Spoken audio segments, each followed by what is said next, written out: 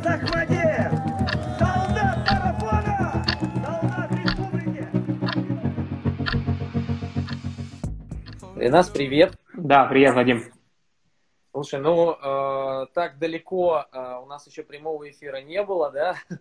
Э, Ну да. Как, как связь? Все хорошо слышно? Ну, вроде да. Меня как слышно? Это хорошо, тебя тоже слышно очень хорошо, потому что это очень важно будет. Я сейчас еще раз и для тебя, и для наших зрителей расскажу, э, что сейчас будет происходить. А, И пока я рассказываю правила, мы как раз набираем а, зрителей, которые сейчас присоединятся. Больше уже это твоя аудитория в Инстаграме. Мгм. А, ну и так, смотри, сегодня у нас четвертый выпуск э, передачи Таймер и Зон, или как мы ее называем, Твое время пошло. А, нам прислали э, почти 30 вопросов а, для Ну, тебя. неплохо. Да, а, и, соответственно, у тебя будет 26 минут и 17 секунд а, для того, чтобы ответить э, на максимальное количество вопросов. То есть твоя задача отвечать, с одной стороны, быстро, для того, чтобы перейти к следующему вопросу, но развернуто, потому что во время твоего ответа и по итогам твоего ответа зрители будут оценивать. Ну, то есть, чтобы мы перешли к следующему вопросу, это я уже сейчас обращаюсь к зрителям, вам нужно в комментариях к этому прямому эфиру ставить э, вот такие значки, вот такой большой палец вверх, и тогда мы посчитаем количество, и как только оно наберется 10% от общего количества зрителей, сейчас мы посмотрим, то, соответственно, мы переходим к следующему вопросу. Мы понимаем, что идет задержка порядка 3-5 секунд, и иногда мы будем переходить к вопросу заранее, потому что понимаем, что э, лайки, они будут, ну, скажем так, догонять э, нас. А, как настроение, Ренас? Пока еще готовимся, скажем так. Пока набираем. Да, все отлично. Тренируемся. А у нас нет локдауна, так что вообще все супер. Ну и да, давай для тех, кто еще не в курсе, мы расскажем, ты сейчас в Кении находишься, правильно? Да-да-да, все верно. Слушай, ну как, как там погода? Все хорошо? А, да, все, каждый день солнце светит, то есть тепло. А, ну, правда, со следующей недели вроде как э, погода портится и, возможно, уже м, пойдут дожди, так как, э, ну, в конце апреля, в начале мая уже начинается сезон дождей. Добро, Вот. добро. Так, ну что, а, предлагаю приступить. У нас сейчас в эфире 70, чуть более 70 зрителей. Это значит, что мы будем оценивать твои ответы э, 7 лайков. То есть нам нужно набрать а, 7 лайков от э, зрителей для того, чтобы мы перешли к следующему вопросу. А, Я ставлю на своем ноутбуке таймер на 26 минут и 17 секунд. Кстати, ты знаешь, что такое 26 минут и 17 секунд? Ну, это, по-моему, мировой рекорд, да, на десятки. Да, это мировой рекорд на десятки. И я думаю, что да, ты сходу назовешь его обладателя. Кто это? Бекели, конечно. Всё Правильно, да. А, да, очень давно держится уже этот рекорд с 2005 года, и я надеюсь, что, может быть, когда-нибудь мы увидим русскую фамилию или больше татарскую фамилию. Ну, не знаю. Хорошо. Итак, а, Ренас, 26 минут и 17 секунд. Погнали. Итак, первый вопрос. Ренас, кем ты хотел стать в детстве? А, в детстве, если честно, ну, хотел стать спортсменом, потому что с юношеского возраста а, меня брат а, как бы привел в секцию легкой атлетики, вот, и а, смотря на соревнования зарубежных атлетов, а, также горел желанием а, вырасти и, и, а, стать атлетом мирового уровня, вот. И по сей день я... Ренас, извини, я тебя буду прерывать, чтобы ты Да. успевал, потому что 7 мы набрали уже. Идем дальше. Мгм. А, расскажи про воспоминания, связанные с Татарстаном. Воспоминания, связанные с Татарстаном? Хм, интересно. Так как в последнее время я ну, дома очень редко нахожусь. Так, а, это надо подумать. Наверное, приезд домой, потому что а, встреча с родителями, конечно же. Потому что э, в последнее время у меня очень редко удавалось приехать домой. Вот, и Наверное, я родителей не видел а, порядка полтора-двух лет, наверное. Вот. И, наверное, вот это событие, конечно, а, сейчас первое приходит в голову. Слушай, ну пока три лайка, я буду задавать уточняющие вопросы. Здесь э, про Чпачмак спросили. Не, не вспоминаешь Чпачмаки? Да, конечно. Кстати, у меня была идея здесь Балеш или Шпичмаки что-нибудь такое сделать. Мы приобрели здесь духовой шкаф, то есть э, проблем никаких, по-моему, не будет. И надеюсь, что в ближайшее время, э, может, на следующей неделе уже что-нибудь приготовлю. Отлично. Потому что уже как, как реально уже... соскучился, да, по татарской кухне. Восьмой лайк, и мы идем дальше. Слушай, такой вопрос. Ходил ли в армию? Если не ходил, то почему? В армию не ходил.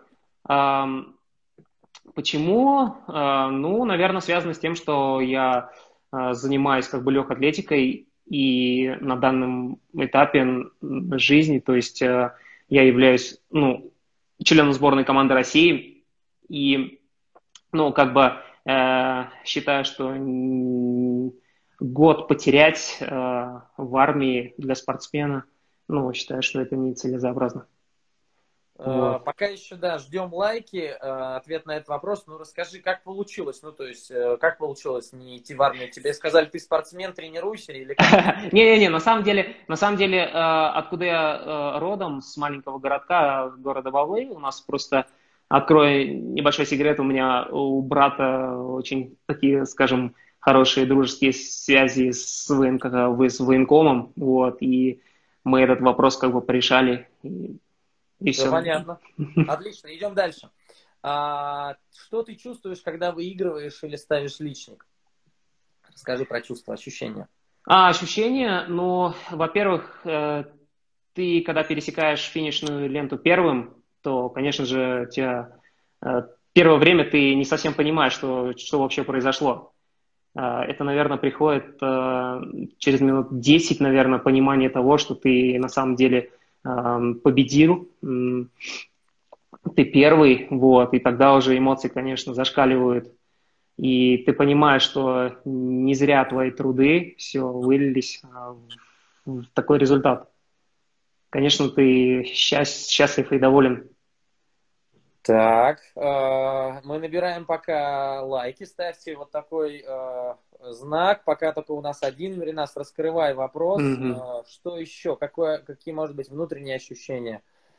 Ну, знаешь, бывают такие, потому что, ну, ты участвуешь в разных видах соревнований, то есть какие-то рангом ниже, какие-то рангом выше, то есть какие-то соревнования тебе просто ты проведешь Ай-яй-яй, ай-яй-яй, ага. Все, я... Алло, я... алло, алло. Да-да-да, у нас как все. раз восстановилась связь, все нормально и набрались лайки. Давай переходим угу. к пятому вопросу. Ну, замечательно. А, редко можно встретить спортсмена, который так объемно может изложить свои мысли. Расскажи, что вдохновляет писать столь содержательные посты в Инстаграм? На самом деле я не очень люблю этим заниматься, вот, но как я вижу, что людям это заходит, интересно, вот, но я посчитал, что следующие посты, они не будут такими длинными, потому что лонгрид, uh, ну, разбивать как бы, разбивать uh, на отдельные как-то части, так будет намного проще и удобнее. Потому что, когда очень много собираешь комментариев, тогда к продолжению текста вернуться очень сложно. Вот. И, ну, и еще и не совсем удобно Э, людям э, прокручивать, смотреть комментарии, э, чтобы, ну, как бы опять-таки дойти до этого поста и дочитать его. Вот. Я считаю, что лучше разделять по частям, чтобы э, пост полностью помещался, скажем так, в один комментарий. Что вдохновляет? Ну, то есть мы еще ждем, у нас еще 4 mm. лайка надо. Что вдохновляет? Ну, не знаю, иногда хочется как-то высказаться, рассказать э, про подготовку, про свои путешествия, вот, поделиться, э, поделиться какими-то эмоциями своими, вот. Слушай, ну вот э, по отзывам видно, что людям очень заходит, очень нравится, поэтому ты пиши почаще. Сейчас мы еще. Ну, будем стараться, да. Да, как раз прилетел седьмой лайк, и мы переходим к шестому вопросу. Чем занимаешь свое свободное время? А сейчас, э, помимо бега, это, конечно, чтение книг, э, чтение книг, отдых. Ну, в принципе, все, наверное.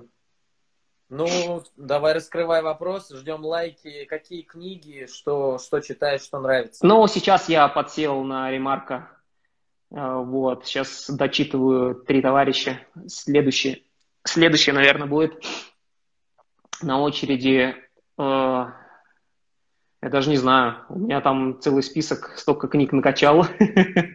Какая первая, если честно, попадется, такую начну читать. У меня, в принципе, нету каких-то предпочтений, там, э, приключения, классика или еще что-то. Ну, ты больше художественную литературу, правильно я понимаю? Читаешь? Да, да, да. Угу. Так, ну, скажи тогда самую любимую книгу, мы еще ждем три лайка. И... Вот, кстати, недавно прочитал э, про... «Вспомнить все», по-моему, называется, про Арнольда Шварценеггера. Вот, ну, прям так очень круто написано, и я не ожидал, если честно, что Шварценеггер настолько крутой чувак. вот, я, конечно, вдохновлен. Это, э, наверное, сейчас у меня появился еще один кумир. Э, вот, я могу так сказать точно. Так, э, окей, сейчас, ну, я думаю, один лайк у нас еще прилетит. Да, все есть, и мы переходим. Седьмой вопрос. Степан э, Киселев, имеется в виду, и Искандер Едгаров уже представили свои фирменные плейлисты для пробежек. Будет ли такой же от тебя? Ну, я не уверен. Вообще, я не сторонник э, того, чтобы бегать с музыкой. Вот. Если только в свободное время там послушать э, музыку, э, не знаю, как-то разгрузиться, более такую классическую, спокойную музыку. Так, конечно, ну, я повторюсь, что я не сторонник того, чтобы спортсмены бегали э, с музыкой, потому что э, нужно прислушиваться к организму. И, но я раньше признаюсь, что да, я бегал с музыкой, и э, ты понимаешь, что иногда ты просто заводишься э, от ритма, и все, тебя просто так несет. Вот, и э, Бывают тренировки, которые тебе нужно ну, спокойно отбегать, скажем, там на пульсе 120, вот, но ты просто забываешь про это, ты начинаешь разгоняться. Вот в этом плане, конечно, это такой большой минус. Слушай, здорово, как раз, да, люди тоже. Еще э, один лайк. Ждем, все, есть и идем дальше. Восьмой вопрос. Переносы и отмены стартов на любителей чаще всего влияют положительно, так как больше времени подготовить свой организм к преодолению дистанций. Какие э, события влияют на профессиональных спортсменов, чей организм находится в, пост а, как такие события, извини, влияют на профессиональных спортсменов, чей организм находится в постоянном тонусе? Ну, грубо говоря, вот эти переносы и отмены на тебя как подействовали? Mm-hmm. Ну, если честно, я как бы зимой не выступал, вот, и мы планировали с тренером э, изначально э, всю подготовку строить к летнему сезону, вот, так что мы, в принципе, ничего не форсировали. Да, мы планировали э, какие-то пару стартов сделать в начале мая, в середине мая, вот. Но в связи с тем, что с этим, с коронавирусом, планы немного поменялись. Но, в принципе, сама подготовка, она э, просто чуть-чуть сместилась. То есть мы э, заново ушли в базовый этап подготовки. И, в принципе, ничего такого страшного нет. А что касается профессиональных атлетов, которые ну, сталкиваются с такой ситуацией, когда переносят старты, соревнования, да, конечно, очень сложно, очень сложно подготовиться к... Ну, вообще э, нужно понимать вообще, когда начнутся следующие старты, потому что нужно понимать, как вообще выстраивать тренировочный процесс. Вот. Но когда ты не знаешь, когда сезон начнется, вот это самое страшное. Вот. Ты, да, ты ну, держишь какую-то, скажем, планку работоспособность, чтобы прям не уйти в ноль, потому что форма очень быстро теряется, даже там буквально недели, неделю, э, две недели бездействия, без каких-то таких даже средних нагрузок, э, ты очень сильно проседаешь, и это очень uh-huh. так uh, чувствуется. И ну, поэтому... Отлично, да. давай, мы набрали 7 лайков, идем дальше. Как раз вопрос в тему. Какие старты планируешь в этом году, 2020? А, давай начнем с того, что как, какой старт я планировал сделать в начале года. Давай. Ну, в планах. В планах э, был старт, э, было два старта, то есть это пробежать в Смоленске в конце апреля половинку, э, или же в начале мая э, пробежать десятку на Гераклеоне. Uh-huh. Вот. А сейчас, э, сейчас, если честно, э, мы не знаем, когда вообще начнется сезон, будет ли он вообще, потому что э, ну, недавно World Athletics выпустили же календарь. Да, да, да. Да, который есть сроки до, до 1 декабря, что результаты не будут учитываться. Да, и, ну, я думаю, что они что-то знают, и, возможно, вообще, вообще какие ну, ни одного, скажем так, старта, возможно, и не будет до, до начала сентября, может быть и такое. Ну да, действительно, но сейчас там вот как раз новость вышла на сайте News Timmerman, мы опубликовали, что Ассоциация профессиональных э, легкоатлетов вроде хочет встретиться с World Athletics mm-hmm. для того, чтобы э, им разрешили, если все-таки будут соревнования, чтобы до, до 1 декабря они квалифицировались как нормативы. Но действительно, да, да, да. да. Ну, а все-таки, если это лето, мы ждем еще 4 лайка. А, если это лето, какие старты у тебя? Ну, то есть ты думаешь, могут быть? Ну, мы пока с тренером не, не обсуждали вообще, потому что, э, я говорю, это как бы тыкать пальцем в небо, не зная, когда вообще что начнется, начнется, и пока мы не знаем. Когда, добро. что, как. Добро, угу. добро. Как раз. Отлично. Десятый вопрос. Мы переходим к десяточке. Uh, опять возвращаемся к музыке. Да, какому стилю музыки больше импонируешь? Все-таки людям интересно знать про твои музыкальные mm. предпочтения. Если честно, у меня нет каких-то предпочтений. Я обычно захожу в... Uh, как там называется? Apple Music. Вот, и там ну, типа iTunes, да, то есть там какие-то, могу скачать э, альбом э, Tropical House, не знаю, э, или еще какие-то там, ну, более-менее такие спокойные, вот. В принципе, мне это э, музыка по душе.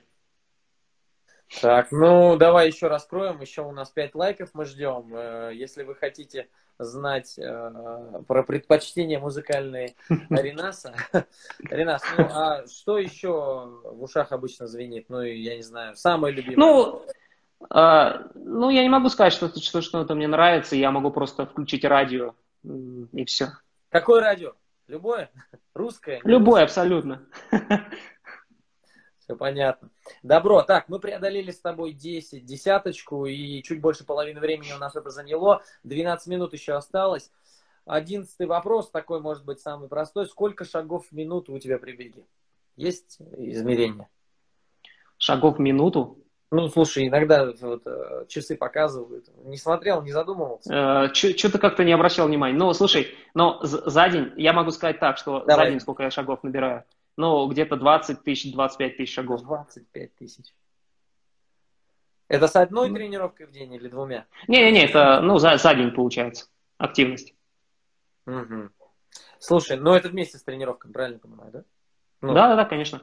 Угу. Ну, то есть, а вот по, в комментариях все пишут, то есть каденс ты даже не смотришь, ну, типа, чистота шагов. Ну, если честно, я как-то не заморачиваюсь по этому поводу. Нормально. Мне кажется, эти такие, знаешь, такие заморочки. Я, я еще не дошел до этого уровня. С слабому не помогут, сильному не Да, да, да, да, да.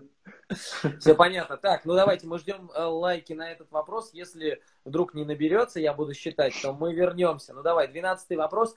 Расскажи свои впечатления о том, как тебе не удалось выступить на домашней универсиаде в Казани, но удалось выступить на чемпионате мира в Москве и на следующей универсиаде стать призером. Вот какой-то такой большой вопрос. Э, Динар, тебе привет за, за, за, за такой вопрос, но от Динара вот прилетел. Да. Ну, вообще, да, изначально мы, я планировал э, выступить в Казани. Вот, да. я был э, в резерве, то есть запасной. Угу. Вот. И должен был бежать полумарафон. Вот, ну и руководство последний день, то есть э, нам выступать, э, ну, скажем так, на, на следующий день рано утром, вот, а с, с вечера, с вечера мне говорят, типа, ну, извини, как бы этот, ну, команда в полном составе, ты все, ну, не выступишь. Ну, Хотя, Казань. Да, да, да, да, хотя изначально меня как бы а, все настраивали на то, что ты в любом случае побежишь, так как а, ты являешься ну, а, своим спортсменом. Вот. И, ну, я все-таки надеялся. И было обидно в том плане, то, что приехали родители, родственники посмотреть на меня, как я бегу за сборную команды. И такой был облом, конечно. Это было неприятно. И на следующий день я вообще, ну, то есть, забил вообще на эти соревнования, то есть я не смотрел ничего. Но в то же время у меня появилась злость, и, по-моему, после универсиады, там, по-моему, через две или три недели же был чемпионат России. Да. Вот, ну вот, я выиграл 5000 метров. Да, слушай, очень интересная история. Мы ждем еще три лайка, ребят. Три лайка ставьте вот так комментарии к прямому эфиру. Расскажи про следующую универсиаду. Получается, стал призером, да? А, Южной Кореи, да. Да. Ну, тогда год э, очень удачно сложился. То есть я в Сочи отобрался, стал вторым. Тогда пробежал по личному рекорду 13 минут 35 секунд. Вот, что позволило мне войти в команду уже в основу. То есть я не поехал туда запасным. Вот, и форма была на тот момент э, ну, замечательной. Вот, и в принципе я, я изначально тебя, извини, планировал. Перебью, чтобы у нас было больше вопросов. Угу. У нас есть лайки, поэтому идем дальше. Тринадцатый вопрос. За свою карьеру у тебя было несколько тренеров. Кто, по твоему мнению, был? Первое, самым суровым. Второе, самым, самым справедливым. И третий, самый лояльным. Слушай, ну сложно так сразу поделить э, по таким критериям. Э, не знаю, я не Давай, смогу, самый наверное. Суровый, самый суровый. Кто самый был? суровый. А, ну, как бы не, не хочется обижать тренеров, я, я не отвечу на этот вопрос. Хорошо, давай самый справедливый. Самый справедливый. Ну, слушай, э, суровый, справедливый, лояльный, то есть это такие качества, которые, наверное, э, присутствуют у каждых тренеров, вот, скажем так. А прям, чтобы выделять именно э, ну, по таким давай качествам. Так, кого ты, я не знаю, ну, перечисли, во-первых, тогда э, самые главные качества у вот этих тренеров, которые тебя тренировали. Например, вот у там, у Фаниля самое вот такое хорошее было это вот это у, там, у других тренеров Давай, ну, чтобы хоть как-то мы сейчас раскрыли этот вопрос, чтобы было интересно. Угу. Ну, э, первый тренер, да, Тухбатулин Фаниль Фаритович. Конечно, э, он на первом месте, так как э, считаю, что именно э, взять э, человека с нуля и вырастить э, из него настоящего профессионала, это, ну, не каждый сможет, э, именно работая с детьми, правильно э, правильно вести э, подготовку. Какое э, скажем так. тебе больше всего нравится? А, ну, это дисциплина. Угу, хорошо, отлично. Вот как раз Динар нам тут пишет. А. Давай про следующих тренеров. Вот тренер и самое качество, которое тебе нравится. А, дальше, дальше я тренировался у Ильина Виталия Георгиевича.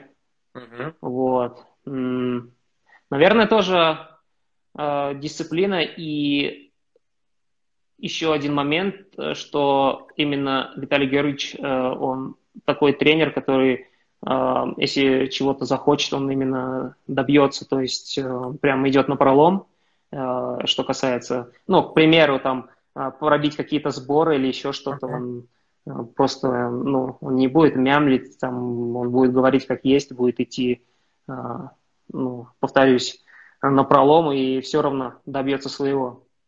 Вот. Ну, то есть такой он прям упорный. он за своих спортсменов прям, да. Дальше? Дальше, дальше я тренировался э, у покойного Василия Николаевича Мастрова. Угу. Вот. Так, Василий Николаевич, чем? Так, качество, качество. Василия Николаевича. А, сейчас сложно вспомнить. Слушай, ну ладно, прилетели у нас 7 лайков. Давай, чтобы да. тебе больше было Я думаю, что мы потом еще э, раскроем. Ну, можно, да. В интервью. Вернуться. А, такой два слова вопрос. Когда свадьба? Если б я знал.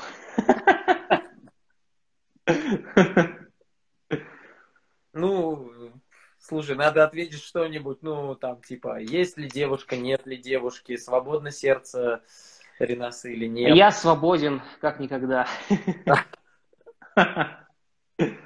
Отлично. Слушай, ну давай, а, я так понимаю, да, вот мы, у нас один лайк прилетел, ждем еще, а, и переходим пока к 15 вопросу. Если не дойдут лайки, то, потому что задержка побольше стала, мы вернемся. А, пятнадцатый вопрос. Когда планируешь спуститься, ну, видимо, с Кении? И если ничего не изменится со стартами коронавирус, как долго думаешь сидеть в Кении? Хм. Ну, спуститься планирую, ну, ск- скорее всего, это июнь месяц, потому что э, здесь ходят слухи, то, что здесь продлят э, карантин до конца мая. Угу. Вот. Ну, как такового здесь карантина, в принципе, нету, просто э, граница. Граница будет закрыта, э, говорят, до конца мая. Но... Даже выехать нельзя будет? Да, да, да, то есть аэропорт будет закрыт, вот. Но, наверное, это начало июня. Это, ну, в лучшем случае. Так, ну окей, мы ждем еще 5 лайков, ребят. Если нравятся ответы, ставьте лайки в комментариях. Рассказывай пока, что там еще в Кении. Хорошо, ну то есть лучше, чем в России тренироваться? А, ну конечно, да. Э, первое, что это, я повторюсь, то, что здесь нет локдауна. Здесь спокойно можно передвигаться, тренироваться в этом плане вообще. Я считаю, что это а, на данном этапе самое лучшее, что может быть. Отлично. Так, отлично. К нам прилетели все лайки. Идем дальше. А, такие интересные вопросы. А, кто сильнее, ты или Никитин? Но, конечно, сейчас Никитин. Здесь, по-моему, все очевидно. Так, ну давай попытаемся раскрыть, когда может быть, батл будет, или когда вы встретитесь, когда ты планируешь э, с ним порубиться? А, слушай, ну, таких пока задумок не было.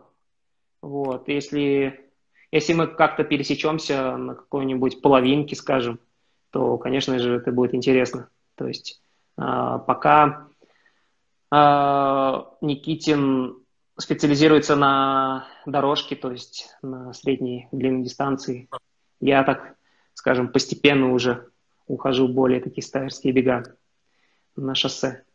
Слушай, как раз, э, да, вот говорят, это была бы крутая заруба. Я думаю, что мы это можем э, как-нибудь организовать, может быть, в Казани, дай бог. А, да, было бы, да. Да, тогда второй э, еще вопрос в эту тему. Ты сказал на более длинные дистанции. А, Искандер уже перешел в марафон. Когда мы увидим Ренаса на 42,2? А, пока, пока нету прям такого желания уходить на марафон, потому что я еще чувствую, что я до конца не реализовался а, на таких дистанциях, как э, пятерки, десятки, половинки. Вот.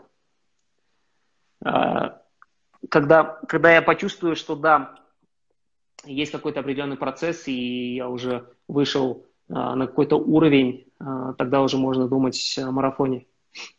Что, что должно произойти для этого? Я задаю вопросы, ребят, ставьте лайки. Но что должно произойти? Я думаю, что каждый спортсмен, ну, примерно все равно планирует э, какой-то для себя, скажем так, планку, uh-huh. которую он может достичь, то есть определенный результат на определенных дистанциях.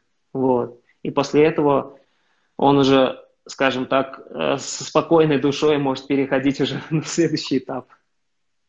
Слушай, ну ладно, у нас остается буквально последняя минута идет, я тебе успею еще задать один вопрос, а, как раз в эту же тему. Когда будут побиты рекорды на полумарафоне и марафоне российские? Напомню, час 01 15 Капитонов, 2.09.07 Соколов.